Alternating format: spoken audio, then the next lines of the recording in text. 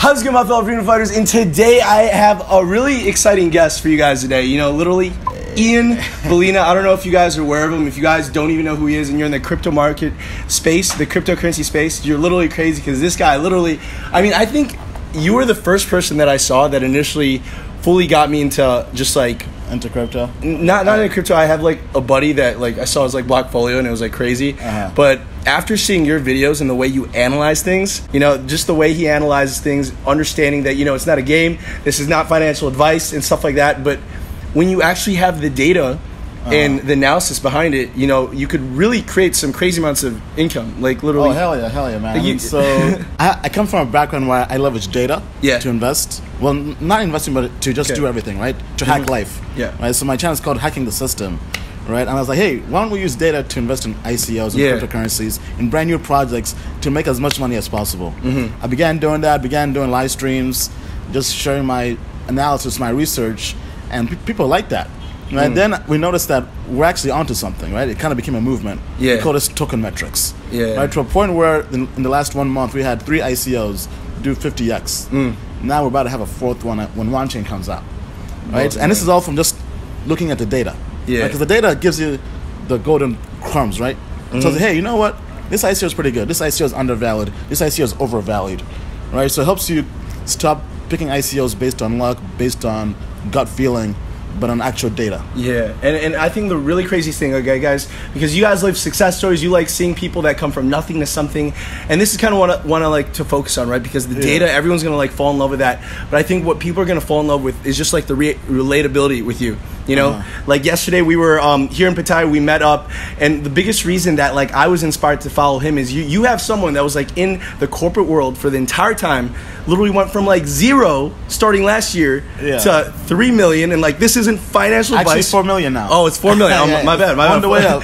Well, just the craziest thing with like the growth of that, and you know, right now there's no industry out there. There's nothing out there that you could actually get these gains, and we are in an opportunity in our life where, as long as you are smart and you understand the the trends and you are just ahead of the trends, you know, you could actually make something of yourself. But what, what I really want to focus on is you know, everyone we were at the meetup, everyone's like, Ian, you know, I want to take a picture with you. Like he was literally like this this superstar yesterday. Like all these guys were buying him drinks, everyone was like having a good time. But what I want a lot of people to understand is it wasn't always like that, right? There was a time Yeah. where you literally like had nothing, you you were stuck financially maybe, and then kind of bring me back to those days before crypto and how you actually got into crypto. Oh, before crypto. Yeah. So my broke days would have to go all the way back to college. Damn.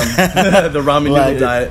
No, I mean like I, I barely had two pennies. What? I was just a broke college Yeah. kid getting by, doing engineering, all that stuff, right? But it didn't really make sense until I graduated, right? Yeah. I was an engineer, computer engineer, right? All, all into books and all that stuff. But once I graduated and I got my first job, Yeah. like my first corporate job, Uh-huh. I'm like, holy shit, like all this makes sense now. Like all this was worth it. I became a made man then. Yeah. Mm-hmm. Right? So that's, that's kind of that's kind of where the whole term came from, right? So I was like, you know what? I'm making money now, but w- what's next, right? Because I had a job at IBM, worked there for four years. Mm-hmm. Yeah. Good job, making six figures. But I'm like, they still owned me. I was Yeah. still a six-figure slave, I call it, mm-hmm. right? Because I recall last year I was in Tokyo for vacation. Fell in love with the, with the culture, Japan, Tokyo, Osaka. Wanted to stay there for like just three months. Mm-hmm. But I'm like, I can't do that. I have to go back because my vacation days run out. yeah. I have to go back to the corporate world. Even though I was making good money, they still controlled my freedom. Mm-hmm. So I told myself, you know what? I'm gonna go back, tunnel vision, attack the skull of corporate retirement, right? And I call this crypto retirement. Crypto right? retirement. But back then I wasn't hardcore into crypto then either. No. Right, this was around February, so came back, began making content on how to make money. Right, basically on just how to make, find a six-figure job, how to make money in your twenties through side hustles, freelancing, being, Okay. a, being an entrepreneur. Yeah, like YouTube and blogging. I was, like, checking it out. So I was doing that for a bit. Mm. Then I made I made some content on crypto and Bitcoin. Mm. My whole audience was like, "Hey, Ian, you know what? All your other stuff is good, but stop. Just make Bitcoin and crypto stuff." I'm like, "Cool." Began making more crypto stuff. Yeah. Just kind of took off from there, right? And, I brought this whole brand new approach to it because I've kind of been an entrepreneur. Yeah. I've been a developer. Mm-hmm. I've been a hacker. I've been a businessman, right? From, from, Yeah. from the corporate world, right? So I brought all these different experiences together to kind of make content in a very unique way. Oh, it is so freaking Right. unique. Just seeing the way you do it, your style and everything, and it's like so inspirational. And just like seeing the growth, dude. It's It's phenomenal. So, like, you started back then. You had a job, Yeah. slavery thing. I think the craziest thing, man, is your ability to see opportunity before other people could actually see it. You know, to see the gold in a pile of just like crap. Right, right. And, and I think that's what separates you from other entrepreneurs that are just chasing the next get rich quick thing Uh-huh. instead of finding something that you know this is like your baby. This is what you're gonna like fall in love with. This is what you're gonna grow and build. And now what I want to do is like, wh- what was that initial jump to crypto? Because like everyone that's like watching this, right? A lot of people are drop shipping, their affiliate marketing, Right. and, and they want to know more about crypto. And they're like, Mike, like tell me more. I'm like, dude, I can't tell you much, but like here's my homie Ian, Right, zero to four right, million. right. What what made you have that belief that holy crap, this is the next big thing. This is Facebook, Yeah. this is internet. I mean, so I don't think you can have that feeling when you first get in. You have to kind of just sample it, try it out. Yeah. Then after a while, you'll have your I call coming to Jesus crypto moment. Okay, Right? Crypto. right? So with me, I was working at, at IBM.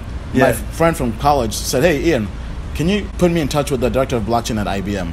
I'm like, "What do you care about blockchain?" He's like, "Oh, I'm doing blockchain development company. Yeah. I'm, I invest in Bitcoin. I'm doing this crypto fund." I'm like, "Hold up, hold up. You can invest in Bitcoin?" He's like, "Yeah." I'm like, as a as a money guy, I'm like. How much money are you making? right? He's like, oh, just 200 percent, just holding Bitcoin and Ethereum. Okay. And I'm like, 200 percent? That beats the stock market, 20 percent. That beats index Yeah, funds. right. Because 20 percent is, is like amazing in one year. Yeah. So 20 percent, I'm like, I'm sold. But I was still kind of skeptical, Yeah. right? So I, I go on Coinbase, just put, put in like 100 bucks of, of Bitcoin and Ethereum. Yeah. Just like something small, right? Mm-hmm. Goes up 25 percent the first month. I'm like, all right, cool, cool. Come back, put in 250 of each Bitcoin and Ethereum.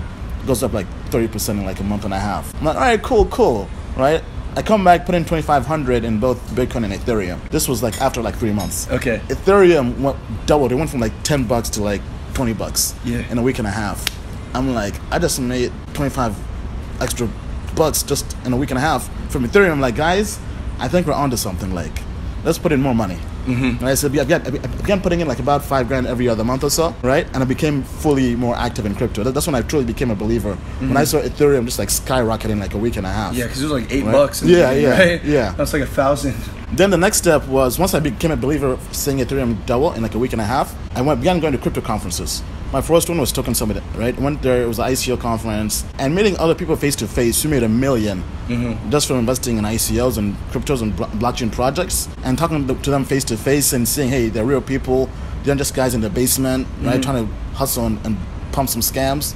Right, I'm like, okay, you know what? This is actually legit, right? Having dinner with them, having wine, talking with the founders, stuff like that made everything so real. Mm-hmm. I'm like, guys, we have to go all in on this. So after I came back, I was basically not. I was barely working at I- I- IBM anymore, right? I mean, I was working, but I was barely. I was, I was clocked out. You were clocked out yeah, right here. yeah. Mentally, mentally, uh, Mentally. my, I was, I was gone. You're just like, right? crypto, crypto, so crypto. every day, twenty four seven, just crypto, crypto, crypto, trying to figure out that edge, right? Mm-hmm. And I, after a while, I was like, you know what? Our, our edge, at least my edge, was data, right? Because I have a background in data and analytics. Yeah. So I began u- using that edge, and it panned out. Dude, it was it was freaking phenomenal. I just want to like hone in on one thing that he said, all right, guys? Because like I said, a lot of you guys like you hear the videos, you see the videos, you're like, oh my god, crypto, that's cool, but like it's just this unknown, and you try to get into it. You're watching more videos, you're consuming more content, but either way, you know they don't have the belief in themselves. And I think what you're doing differently than any other crypto influencer out there on YouTube, on social media, on Twitter, on anything, which everyone should follow, by the way. Gonna be a link in the description. Is you're creating this community, it's movement, it's like almost like a revolution, a crypto Right, yeah, revolution, crypto revolution, where grassroots like I was in the exact same thing, man. I, I, I got into crypto last week, okay?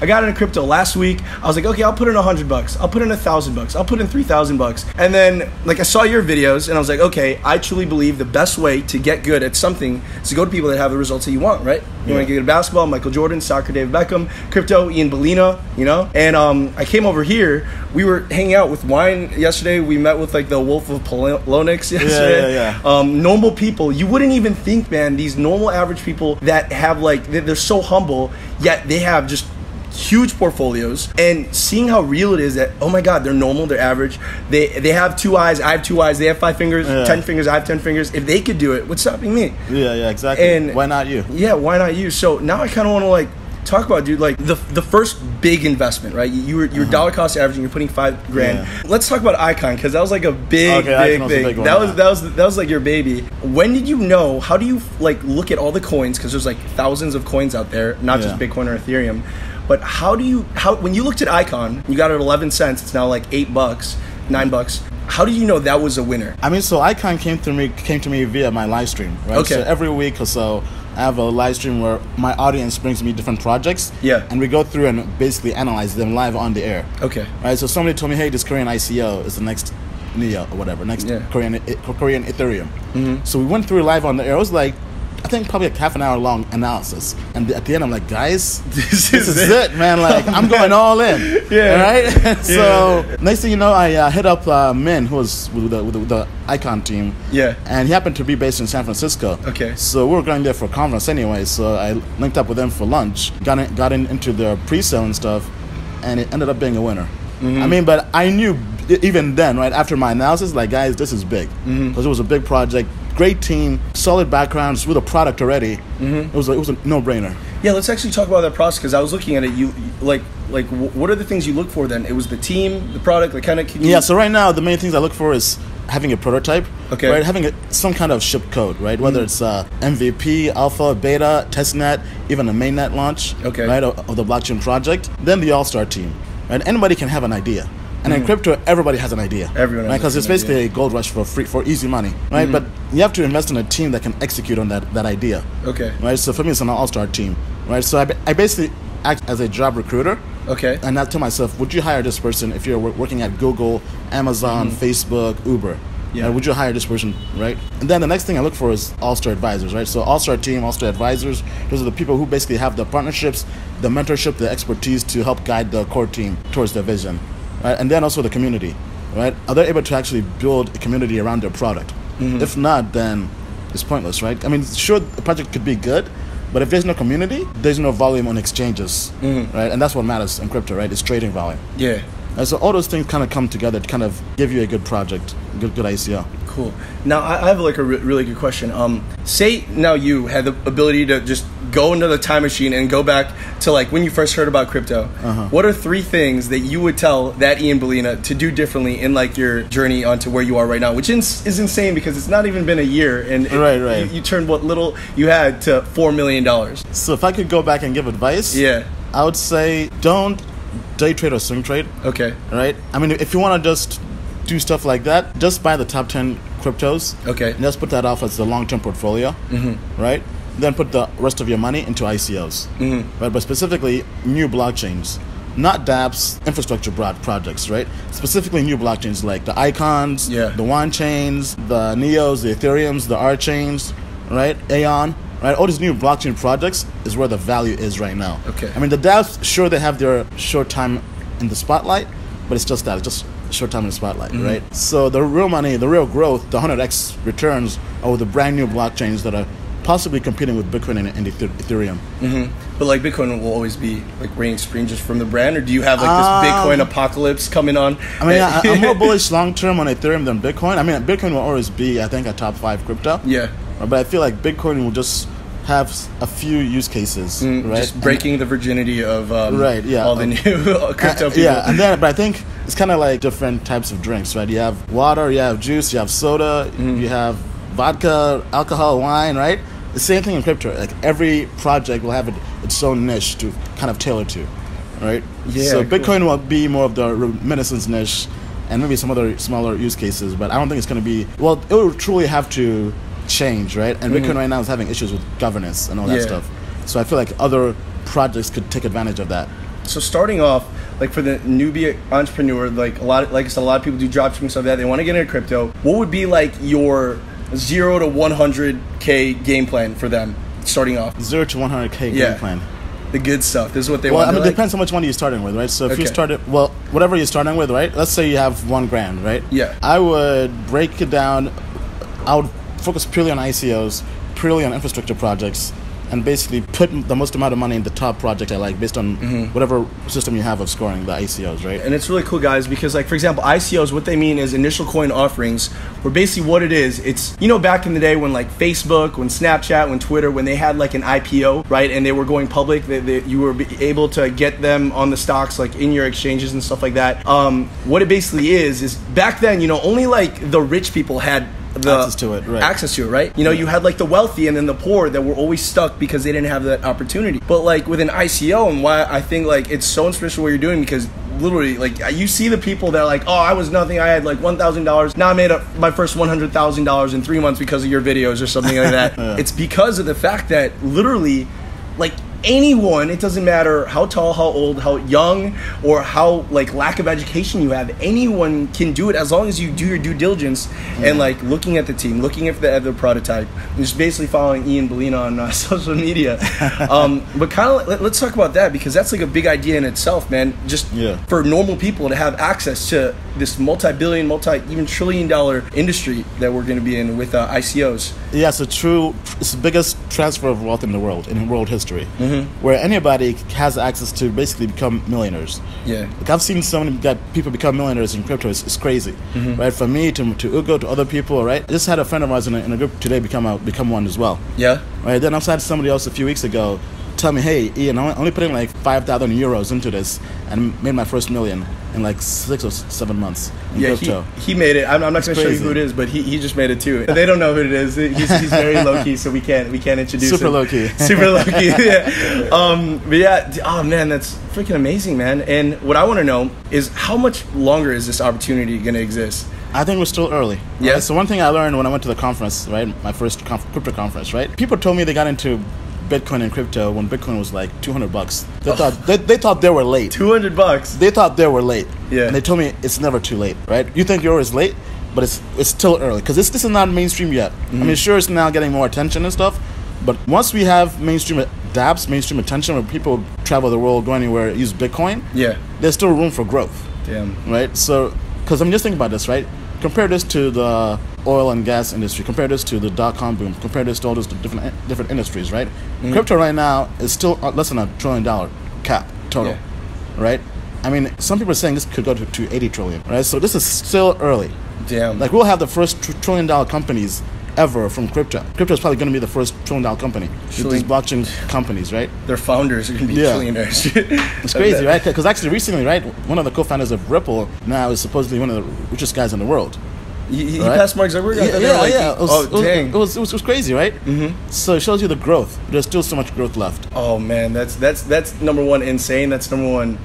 Two number two exciting, dude. Yeah. Oh, that, that that's just crazy. So so what I want to know. Last question. So so just everyone understands. You are a very smart person. I think you're basically psychic. I don't know if you could like you you know things that other people can't see. You can see the future. You know which companies are gonna pop, which aren't. Uh-huh. You literally call the shots, and everyone like you probably have the best hit rate for the success rate on which ones you actually will say successful and it's like backed by proof from like your students. Yeah. that you give value for free. He doesn't even have a course, guys. That's how crazy it is, um, and how amazing of a uh, teacher this guy is. Seriously. But what I want to know is where did this entrepreneur spirit come from? Was it your mom? Was it your dad? Was it growing Uh, up? I would say probably my mom. My, Yeah. my mom has always been an entrepreneur. Yeah. Right. She had a shop back in Africa, even over here in America. Okay. Uh, she's always been an entrepreneur, and just from wanting freedom, right? Yeah. I've seen my dad. My dad has done everything by the book. He has a PhD in engineering. Mm-hmm. Yeah. Gone through the corporate world, everything, right? And I've seen how he gets treated in, the- in the corporate world still.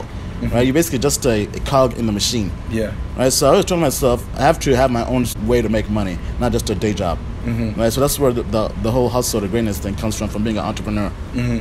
Yeah, that's amazing, man. So, what I want to know, any last piece of wisdoms, words, or advice you would want to give to them, um, so that they could actually get on board if they're not on board with crypto. Uh, I mean, if you if you're not on board on crypto, this is probably going to, going to be the biggest L of your life, biggest L. biggest L of a lifetime. Now, this is just my opinion; it's not financial advice. But you guys are gonna miss the boat, the rocket ship. Like, imagine seeing all your friends who got in, Lambos. and you're like, Lambos. that that could have been me. Yeah. Right? Um, I had a mentor earlier on in 18, when I was 18 years old. He said there's three types of people in the world when it comes to business opportunity people that make things happen, people that watch things happen, and people that go, What the fuck just happened? and I'm going to tell you, there's going to be so many people that see this and be like, Dude, I knew that guy. Like, I was his boss. Right, right, right. Yeah. Yeah. I mean, because I had my coworkers on IBM, guys I was working with, partying Yeah. with, whatever. They saw me posting like Blockfolio every single day when it was under 20 grand. Every single day. Mm-hmm. In less than what, like six months or a year? Yeah. It's now 4 million. Now they're saying, hey, Ian, how do I buy Bitcoin now? Oh, man. It took them that long to get in. Yeah. And I was like, guys, you should have got in when, when it was under 20 grand. Like, They messed you up. have to believe from the start. and like a year from now, you guys are gonna wish that you got in when Bitcoin was beneath twenty grand. Yeah. That, that's that's the crazy thing. So, guys, hope that helps. If you want more of Ian, you have a blog, Yeah, ianbalina.com. yeah, yeah. So my site is ianbalina.com, Mm-hmm. I A N B A L I N A.com.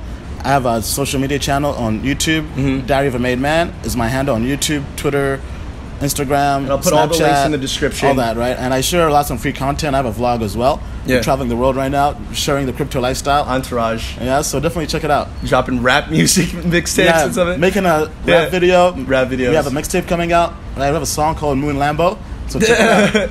It is legit. yeah, guys. So hopefully that helps. Make sure you like, comment, and subscribe to all of Ian's stuff. And I'll see you guys on the next video.